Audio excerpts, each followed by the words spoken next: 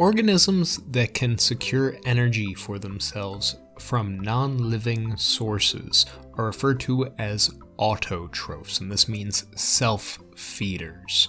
Now, this is not unique to any one category of organism. For example, in deep sea hydrothermal vents, you'll find chemoautotrophic bacteria that are able to take sulfur based compounds that are spewing out of the earth and transform those chemicals from stored chemical energy that's inside them into usable chemical energy for their cells.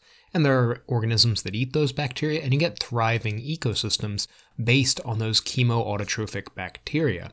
But for the rest of the ecosystems on the planet, the basis of them, the, the raw energy for those ecosystems is being captured from sunlight. So photosynthesis is the interface between the non living realm and the living realm. This is how energy gets into the biosphere in the first place, in all but the very most narrow of cases where there's an exception for that. Animals and fungi have to feed on recently uh, dead organisms in order to survive, or in some rare cases, uh, still currently living organisms in order to survive. They are therefore called other feeders, not autotrophs, heterotrophs. But if you want to talk about photosynthetic organisms, there's actually quite a wide variety. You have unicellular bacteria that are able to do photosynthesis. You might hear the term cyanobacteria thrown around. These are very simple organisms that are able to do photosynthesis and they use their own cell membrane in order to accomplish the task. So, everything we're going to talk about that takes place inside of plant cells also happens inside of these bacteria, except they don't have chloroplasts to do the job for them. They use their own cell membrane to do the job instead.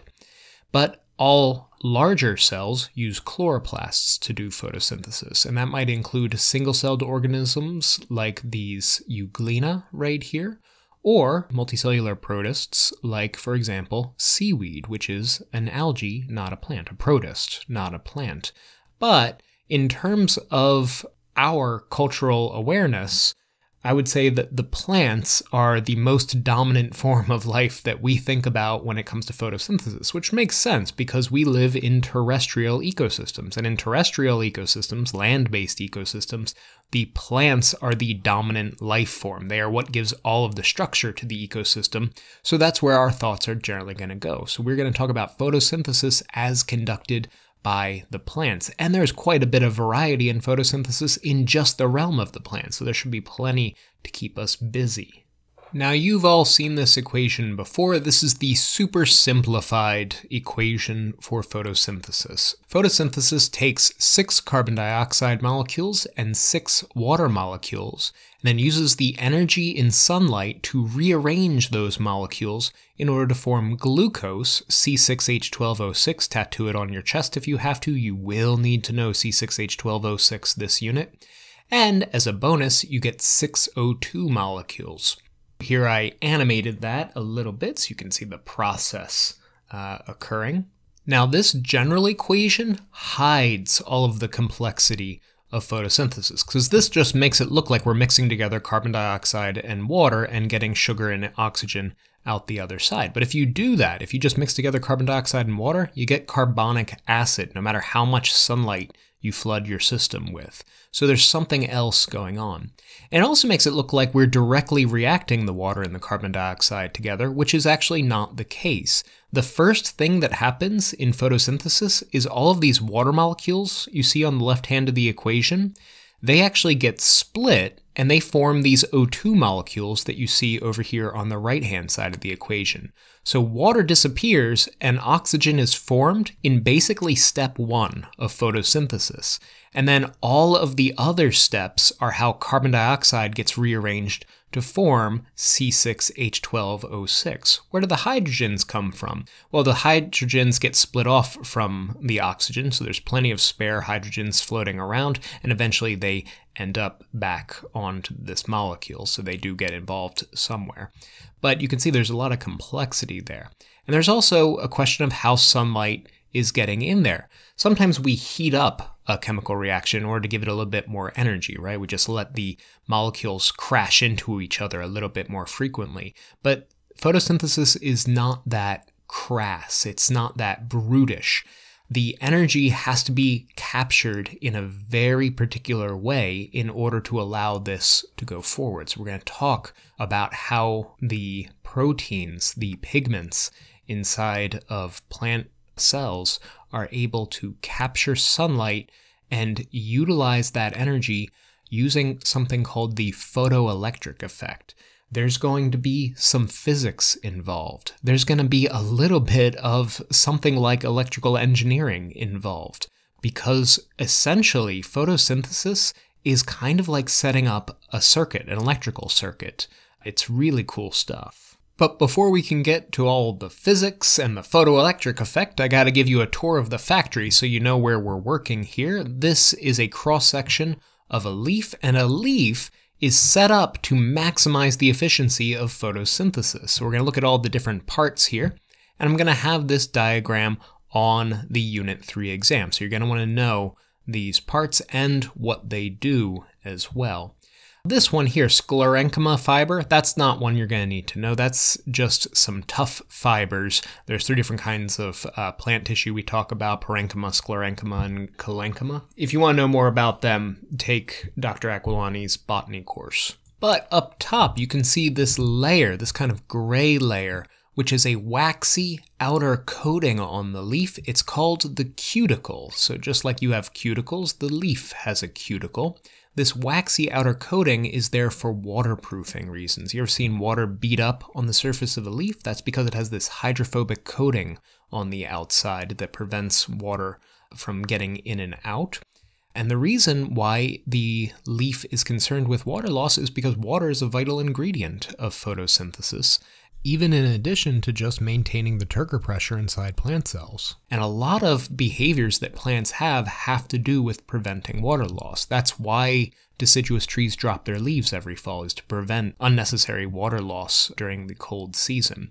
So the waxy outer coating prevents that excessive water loss during hot, dry periods. Just below that, we have the epidermis, which you'll notice there's not a lot of chloroplasts in these epidermis cells. The epidermis is there to help absorb water and minerals in the roots, and it protects against water loss in the shoots. Uh, it's there as another protective coating, and because it doesn't have a whole lot of materials inside, and it's just one layer of cells, it lets a lot of sunlight on through. So it helps regulate uh, the passage of materials. It forms a nice protective coating underneath that cuticle, uh, but it doesn't do a lot of the photosynthesis. Then we end up in some of these layers down here, which we call the mesophyll. And from a photosynthesis perspective, the mesophyll is where the action is happening. But you might notice that the mesophyll is actually divided into two separate layers. You have this kind of dense region on top here, which is called the palisade mesophyll, and then you have this airy region, this kind of like sparsely populated region called the spongy mesophyll down here. It looks like if you were inside here, like if you were to shrink down and, and go around in here, you could crawl your way through the spongy mesophyll, but you couldn't do the same with the palisade mesophyll. Now, the reason why these are set up like that, when sun comes down and hits a leaf, it's probably going to hit the palisade mesophyll first because that's the top of the leaf, right? So you're going to get a lot of sunlight coming through that top part. So you're going to want to pack as many chloroplasts up there as you possibly can. And every time the sunlight has to go through a layer of cell wall, uh, it's going to be diminished ever so slightly. So you want very few cell walls in your way. You don't want a lot of layers of cells in your way. So that's why the palisade mesophyll cells are set up like this. They're elongated so that you don't have layers and layers of cells, but you can have lots and lots and lots of chloroplasts all within the same cell, so we're maximizing the efficiency of photosynthesis in this region. We're maximizing the capture of sunlight in the palisade mesophyll. But some of the ingredients you need for photosynthesis, well, you need to take in carbon dioxide and you need to pump out O2. And if O2 builds up too much in the leaf, it actually decreases the efficiency of photosynthesis. So you need to be able to get rid of oxygen and bring in carbon dioxide. So, to facilitate that gas exchange, that's why the spongy mesophyll has all of these air pockets inside to make sure that there's a good mixing of gases inside and outside of the leaf and allow them to kind of flow in and out but there's still some light available there. So you still want the cells that have chloroplasts, hence you can see in the spongy mesophyll, there's still some chloroplasts in these cells, but you just want these air pockets to help you mix the gases together and facilitate gas exchange. Now, how are the gases getting in and out of the leaf? Well, we have these little pores here, which are called stomata. And stomata kind of serve as the nostrils of a leaf. They are pores that allow gases in and out. Now, these purple cells that you see on either side of the stoma, these are called guard cells. Guard cells can inflate with water, uh, making themselves much, much larger. And when they inflate themselves with water, they essentially close up the pores. They close up the stoma, or the stoma. Stomata is plural, stoma is, is singular. Uh, they close up that stoma to prevent any more gas exchange. So if it's a very, very hot, dry day, you might be more worried about water evaporating through this leaf than you are about conducting photosynthesis efficiently. So it might be a good idea to close your stomata and prevent water from escaping. Like that might be the resource that you want to make sure that you hang on to a little bit more. So that's what those guard cells are there to do. They're also there to regulate gas exchange, but also prevent water loss if necessary. For photosynthesis, there's some other ingredients that are required, namely water. And water is collected down by the roots of a plant and it's got to travel all the way up to these leaves. How does it do that? It does it through the leaf vein. There are two varieties of vascular tissue that you find inside the veins the xylem and the phloem. The xylem is the water uh, and some minerals as well transporting tissue. So this is the route that water takes to get from the roots all the way up to the leaves. And we talked when we talked about the property of water about capillary action. And we talked when we talked about osmosis about how water moves from cell to cell as well. So you know that water travels up these roots against the force of gravity and eventually finds its way up to the leaves. Now, an interesting thing that happens is once it gets up to these leaves, it actually is allowed to evaporate a little bit. Something called transpiration happens, where you get evaporation from the leaves. That's what these guard cells are there to control.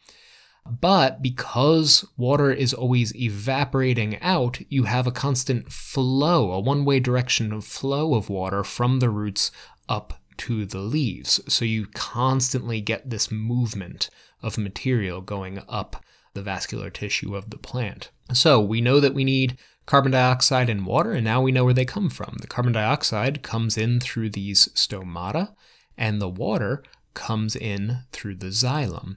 Now, what's the phloem for? The phloem is for sugar transport for nutrients. So, once the sugars are made, it's going to get packed into the phloem and delivered throughout the entire rest of the plant. The cells, these dark blue cells that are around the outside of the vein, these are called bundle sheath cells. And in certain kinds of plants, they have a very important function in photosynthesis. Uh, some types of plants which are adapted for very hot, dry type conditions will store excess CO2 in the form of a four carbon acid inside of these bundle sheath cells and then be able to use it a little bit later on. So they do all of the essentially the second half of photosynthesis. They do all of that here at the bundle sheath. So that serves multiple functions. Not only does it protect the vascular tissue here in the vein, but sometimes it forms a very important part of photosynthesis as well. Corn would be an example of a C4 plant that, that does that kind of mechanism.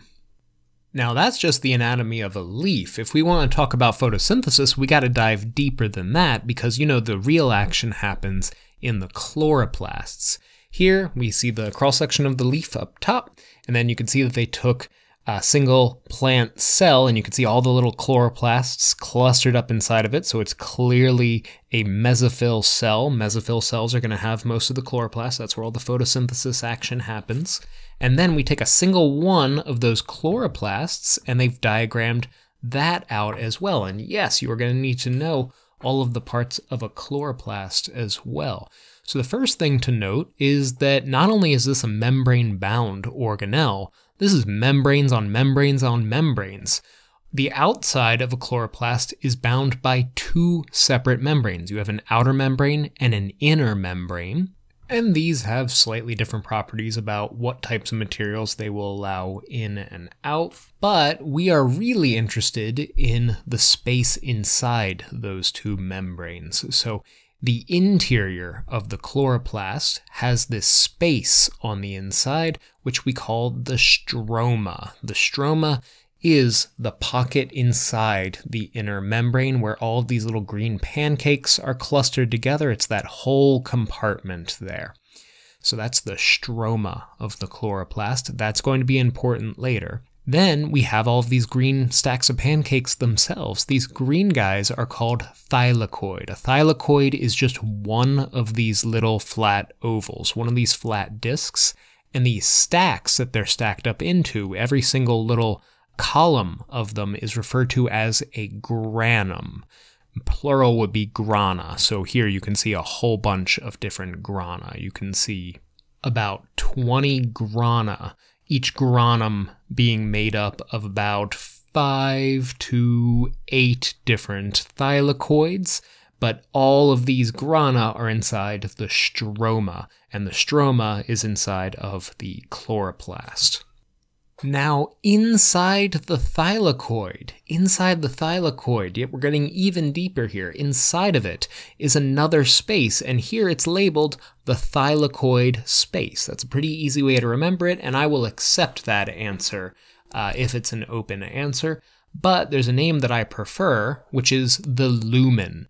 Lumen in anatomy and physiology, right, is any open cavity inside of your body. So if you were to do a cross section of uh, someone's intestines, the open space in the center where the material flows through, where the food flows through, that would be the lumen.